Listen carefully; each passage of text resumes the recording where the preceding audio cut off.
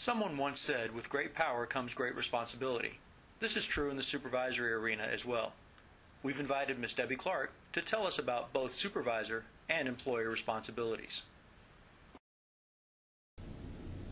I think you could really summarize a supervisor's responsibilities in, in two very simple terms setup and execution. Setup is setting up the structure of the organization, involves the planning phase of what you do as a supervisor, structuring the positions, assigning the duties for the employees to perform, setting performance expectations that go along with those duties, understanding and clarifying what the outcomes are that you're going to expect from that performance of those duties, establishing rules and standards of behavior for the workplace, knowing what your parameters are going to be with respect to lots of different things, leave procedures, call in, uh, assigning work type things like that. So planning and setting up is a very key aspect of one of your responsibilities, which then leads into the execution, the actual follow through. So you've established these procedures, you've assigned the duties, you've established the expectations. The first thing, of course, is filling the vacancies, making sure that you've got good criteria for making those selections, getting the right people in the right job. That is the very key you're not always going to have opportunities to select every member of your staff. So sometimes you're not going to necessarily start with that phase.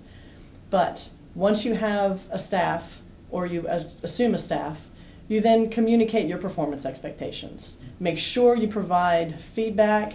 You want to reinforce and reward good performance, but you also want to correct deficiencies when they occur. Those communications need to happen on a regular and recurring basis if you're going to get from your employees what you need.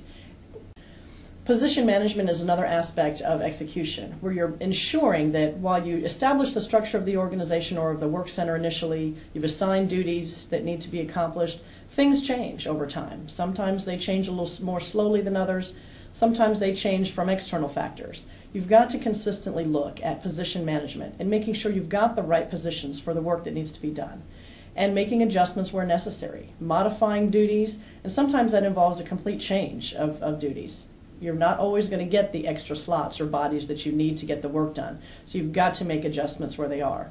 And you don't want to do that strictly in the actual assignment of duties, but you need to make sure that from a position management standpoint, you address those concerns and keep them in your line of sight. Of incredible importance is to address conduct issues. Many of you will go through your career as a supervisor and not have conduct problems with any of your employees. But that's actually less common than you would think, unfortunately. None of us like confrontation. It's human nature to try to shy away from that. But if you don't address conduct issues when they arise, you're just setting yourself up for a disruptive workplace and problems continue to grow. So address those issues when they first arise. Don't save them up. Don't be afraid to have that simple conversation. You can do that without being confrontational, and it's important to make sure that you have those simple conversations and correct them. But when your early intervention is not successful, do not be afraid to take corrective action and disciplinary actions when necessary. It's very, very important. And while you may have difficulties with one employee, if you don't address them, it affects the morale of all of your employees. So you owe this to your entire work center to take care of those problems as they arise. What I want to summarize with the supervisor's responsibilities is to make sure that the key aspect of your execution have a plan and sit down with your new employees when they arrive within the first day if possible, but no later than the second day, and go through all of these different things. Your expectations as they relate to work schedules, leave procedures, behaviors, assignment of work, all these different things. You want to communicate them right up front and when you do that, you show your employees that not only do you care about them, but you care about the work center and make it a better place for them to be. Employees have a number of different responsibilities. Uh, obviously, there are responsibilities to the supervisor, but there are responsibilities to the organization and to the agency as a whole. Uh, speaking at it from a much broader perspective, obviously, uh, there are a code of ethics that apply to all federal employees that really need to be complied with. I don't think it's expected that all employees memorize and know the nine items that are covered in that federal code of ethics. Some of them, some of us may think, are actually no brainers, uh, but some of them are a little more than that. Each new employee should be provided the code of ethics as part of their in processing. Sometimes that happens within a, a broader orientation that happens within the personnel office, but other times that happens with the supervisor. They should be given the information so they are aware because they are very important and they should not be minimized, as obvious as they may seem. But there are performance and conduct expectations that those code of ethics speak to, but that happen every day in the workplace. And employees have that responsibility to their supervisor and to the, their coworkers, to the mission, and to the agency as well. Um, the Code of Ethics, again, as I mentioned, are, are federal Code of Ethics, they're government wide, but there is also a joint ethics regulation in DoD that, employ, that has other information employees should be made aware of to ensure that they uphold their responsibilities.